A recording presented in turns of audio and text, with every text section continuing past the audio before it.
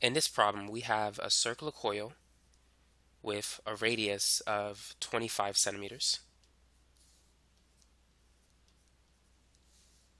And we have a magnetic field that is perpendicular to the face of the coil. And we need to calculate the magnetic flux in this coil. The magnetic flux is represented by this symbol. It's B times A and this is the component of the magnetic field that is perpendicular to the plane of the coil. And so for this problem, the magnetic flux is going to be B times the area of the circle, which is pi r squared.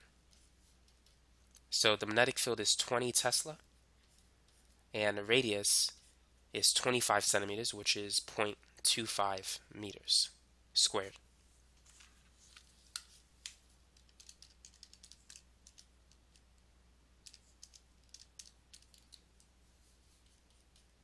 So the magnetic flux is 3.93 Tesla times square meters, which you could simply represent that as a Weber.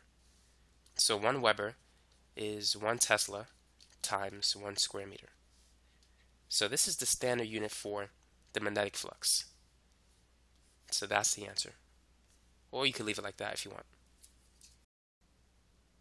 Number 2. A magnetic field of 30 Tesla is directed parallel to the face of a square coil. Calculate the magnetic flux.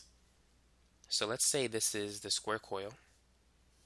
And this time, the magnetic field is not perpendicular to the face of the coil. Rather, it's parallel to the face of the coil. So it's going in that direction. What's the magnetic flux? Because it's not going through the surface of the square coil, rather it's just like passing by it the flux is going to be zero. The flux is equal to the component that's perpendicular to the coil times the area. And there is no perpendicular component. So therefore, that part is zero. So the flux is zero in this case, or zero Webers. The perpendicular component, it turns out, is b cosine theta. So you can represent the flux equation like this. The magnetic flux is B times A times cosine of theta. And so what's theta? Theta is the angle between the normal line, which is perpendicular to the surface, and the angle, I mean NB. So this angle here between the magnetic field vector and the normal line, that's theta. So in this example, theta is 90. So we have 30 Tesla, that's the magnetic field, times an area of 0.10 meters squared, that's length times width, times cosine of 90 degrees, since they're uh, perpendicular to each other. Now, cosine of 90 is 0, and so that's why the whole thing is 0, so the flux is 0. And the last problem, the magnetic field was parallel to the normal line. And so the angle between them is 0 degrees. And cosine of 0 degrees is 1. And so that's why the magnetic flux in the last problem was simply B times A. Because this was completely like perpendicular to the face of the coil.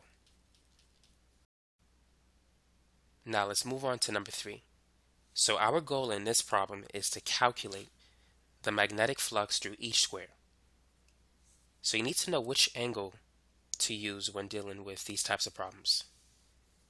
So the magnetic flux is going to equal the magnetic field times the area of the coil times cosine of theta. Now keep in mind theta is between the normal line and the magnetic field. So in the first problem on the left, theta is 40 degrees. Now what about on the right? What's theta? So here's the normal line and here is the magnetic field. So theta is complementary to that angle it's 90 minus 30, which is 60 degrees. So make sure you choose the right angle, otherwise you can get the wrong answer. So for the first one, it's going to be the magnetic field, which is 10 Tesla, multiplied by the area. Since we're dealing with a square, the area is just going to be length times width. So 50 centimeters is 0.5 meters. So 0.5 times 0.5 and then multiplied by cosine of 40 degrees.